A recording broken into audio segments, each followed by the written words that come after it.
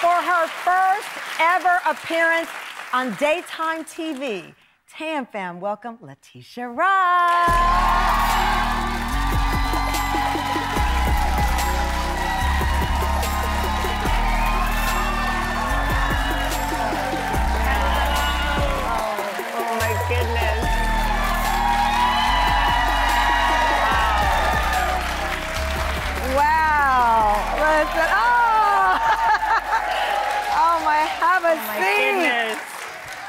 Oh, see oh. what you miss on daytime? You're going on all those nighttime shows, and this is the love. This, This is the love. Oh.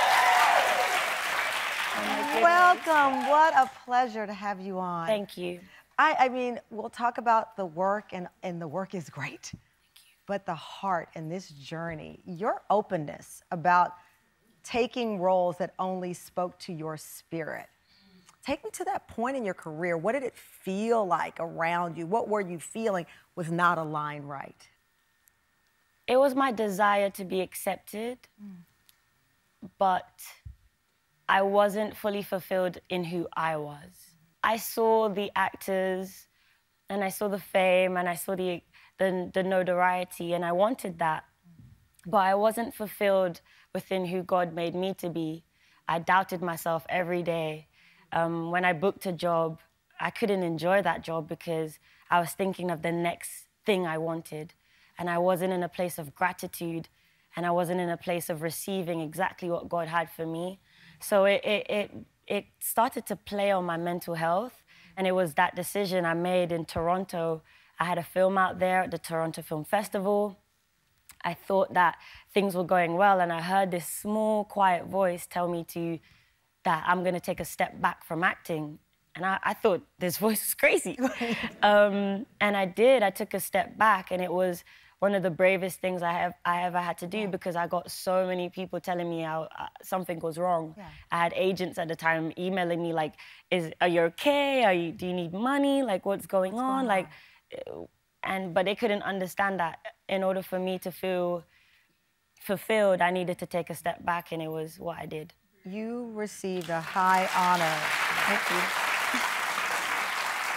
In 2019, you received this huge honor, the Rising Star Award from the British Academy. This is a massive award. yes And in your speech, you said there might be some of you here that's going through depression, that's going through a bad time, and you're putting a smile on your face, and nobody can see that. But you know it, and God knows it.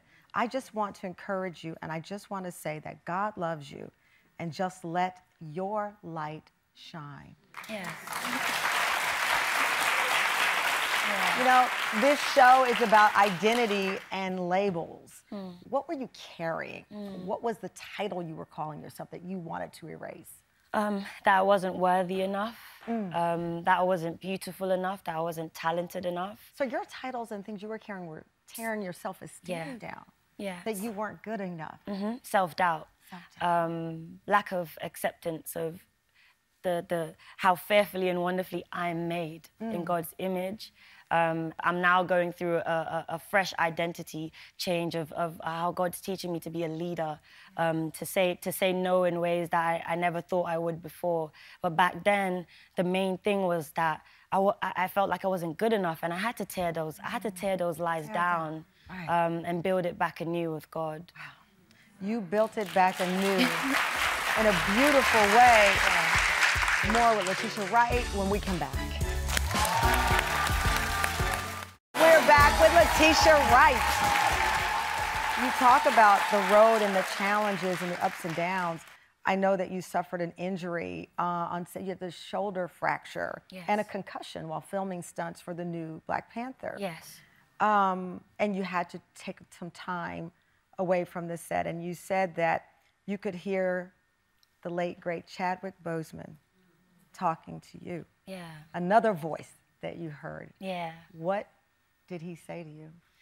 Man, um, as you guys know, Black Panther is, is, is a blessing to my life. Shuri is a, a, is a blessing not only to me, but to the world and to so many black um, young girls.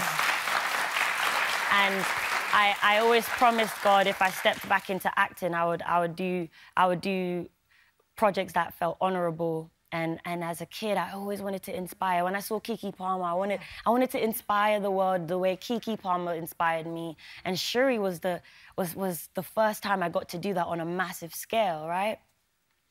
So when this, this, this unfortunate event happened and I had to take about three months out, I went back home. Uh, my mom received me um, with tears in her eyes, and I just had to sit with myself and, mm. and decide, you know, how are you going to bounce back from this? How are you going to get back onto this set to fulfill your purpose um, that God blessed you with? And, and, and I could hear my brother just tell me that I could do it. I didn't feel like I could do it. I didn't feel like I could go back. So you heard Chadwick say, yeah. you can do this. And I admire, and, and in those moments, I admired his journey even more because he dealt with something that we didn't know about until he passed away. Um, and um, you know, I'm trying to, you know, contain it, but I never got to say goodbye to my brother. So just going through that that situation, it was another it was another opportunity for leadership and strength to come out and just for him to be such a leader at a time when, you know, he was facing so much. And I just felt like once I got the healing I, I needed and I went back, I finished stronger. So I'm so excited yes, for you guys to see yes, it. Yes. You know, it's so interesting because the layers of your journey are so beautiful, and part of that started with your admiration of another actress, Keke Palmer, who yes. I love. Uh, you saw Akeelah and the Bee. Yes. And you saw what you wanted. Yeah. And and like you said, it's so interesting. You are such a regal person. Keke's been on the show. You both have this energy, the same flow. Wait a minute. Is Keke, Wait, did Keke do something special?